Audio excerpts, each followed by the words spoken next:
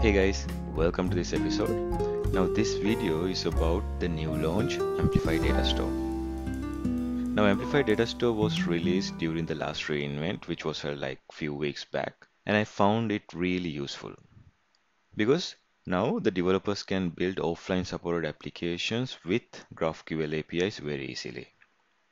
So in this video we are going to do an introduction to Amplify Data Store and we'll explore it with a quick demo. So what really is Amplify Data Store? So essentially, AWS Amplify Data Store allows you to read, write, and observe data to your local device. And it will make sure that data is synced with the cloud. So for example, if you're an Android iOS developer, now you can build application that writes to your local SQLite database. Or if you're a web developer, you can build application that write data into IndexedDB in Chrome an amplified data store will sync that data with AWS Cloud. So it's going to handle all the real-time updates, offline data synchronization, conflict resolution, and everything. Now, here's what happens under the hood. So you as the developer can use Data Store API to interact with your local database. So what is this local database? It could be SQLite, could be IndexedDB in Chrome, now those two are available by default and they will add support to other local databases as well. So when you use the data store API, it calls the storage engine that will use the correct storage adapter to interact with the local database of your preference. Now the storage engine is also connected to a sync engine. The main responsibility of this sync engine is to synchronize your local data with the data in the cloud. Now, as the cloud backend, you have to use AWS AppSync. Now, AppSync use GraphQL, but you don't necessarily have to write GraphQL queries or mutations or subscription. At the sync engine will handle that and will make sure your local data is always synced with the data in the cloud. Now, however, you can choose not to use the cloud at all. You can build application that persists data only within your local device and essentially use AWS Amplify without AWS as well. Okay, now let's get to our demo and understand this better. Okay, so the demo application is available at this GitHub URL and you can do a clone here. Copy this URL and then you can do git clone and you will find these folders. Now this is a to-do application that is built with React. Let's see how application looks like.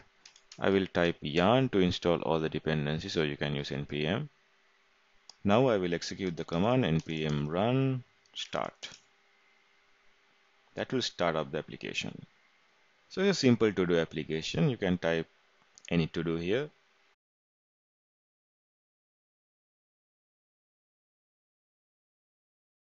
You can add to dos like so and you can edit these to dos as well.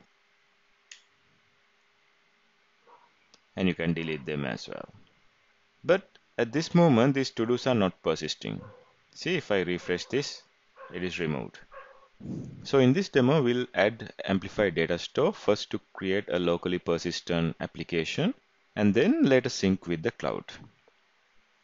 Now I've added all the steps in the GitHub repository. So if you scroll it a little bit down, you should see steps to followed in the demo. Now as the very first step, we need to install the latest Amplify CLI, which you can do it very easily with npm. Now I already installed it, so let's proceed to the second step. Now since you are planning not to sync with the cloud in the first step, the easiest way to add Amplify Data Store is to use an npm script. So we'll run this npm script and see what are the files that get added.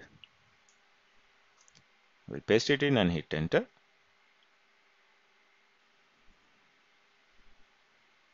So as you can see, several folders and files are created. You see, this Amplify folder is being created and it has added an API as a backend. And under that API folder, you have Amplify data source. And inside that, you will find a file called schema.graphql.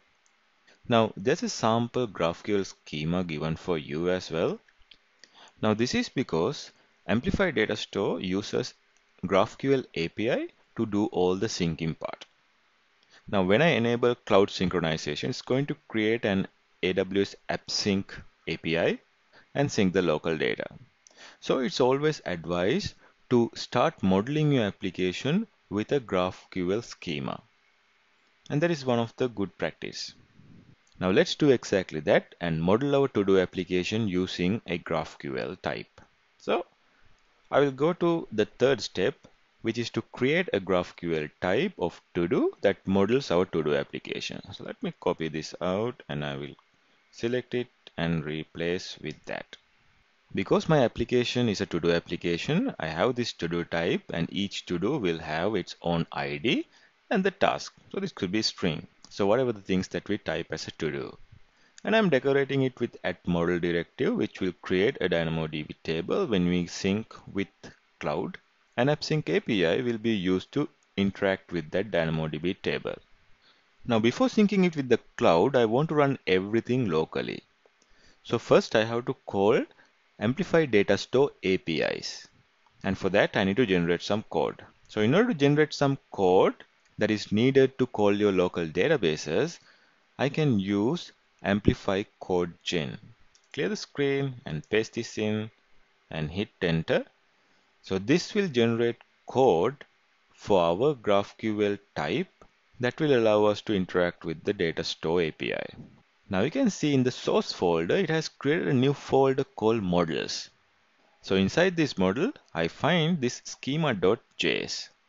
Now this schema file is corresponding to our schema of GraphQL. You can see as for the fields you have ID and task and this is used to interact with my local data store as well as for synchronization.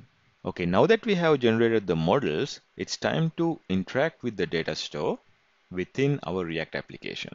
So for that, I need to install some dependencies. Let me copy this npm command, clear the screen, paste it in, so it's going to install Amplify core library and then Amplify data store dependencies. Hit enter. Okay, now those dependencies are installed. You can verify it if you go to package.json file. Now we can import data store into our to-do component and use it. So as the sixth step, I will copy these import statements, open source folder, under components, I will go to to-do component and paste them here. Way, you wouldn't need this amplify import. I will take it out. But we need to import this data store from at AWS Amplify data store and all the models that is generated earlier in the model generation. So if I go to models, it will reference the type file here. Now in the application, when I type something and hit add item, it's going to create a new to do. The function that get called is create to do. So right now what's doing is it'll push that to do that is passed from the front end to an array called to dos and then it will update the application state thereby show that to do in the UI. But now we are going to store that new to dos in the data store. So let me uncomment this code. So what I'm going to create is a create a constant called new to do and I'm going to use the data store dependency that we imported up there. So the API of data store is very simple. You see, in order to create an item in the data store, it's simply a matter of calling data store.save and then pass the new item. Here, I'm importing the to-do model right here that is already available in our models folder that is automatically generated for us and do a new to-do instantiation. And here I'm not assigning an ID, but only the task or the to-do that is passed from the front end.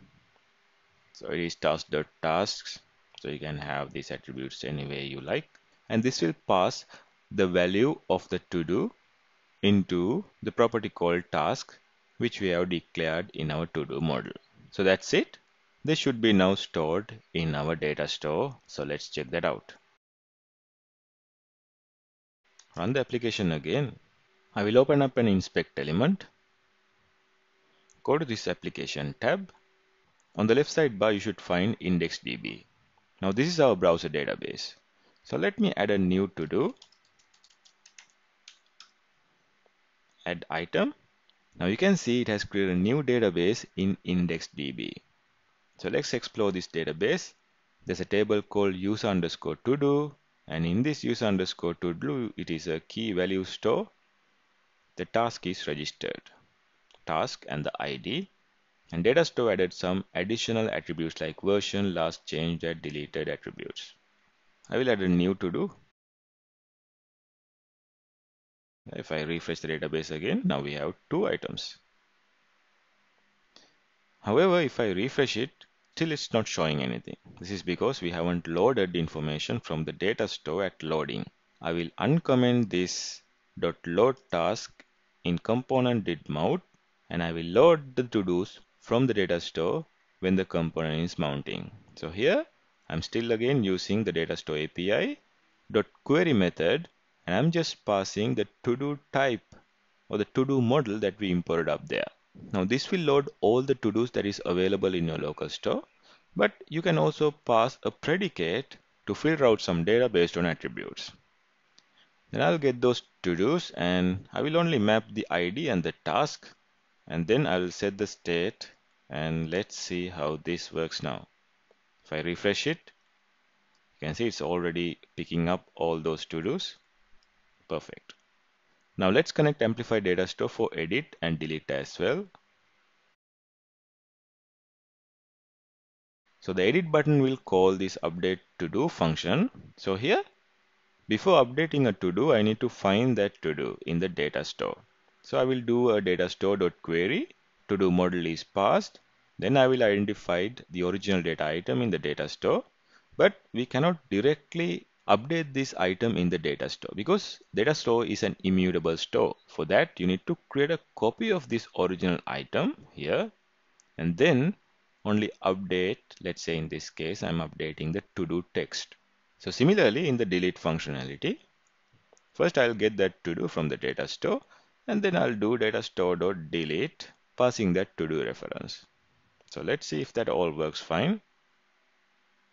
We do a refresh so currently our store has two.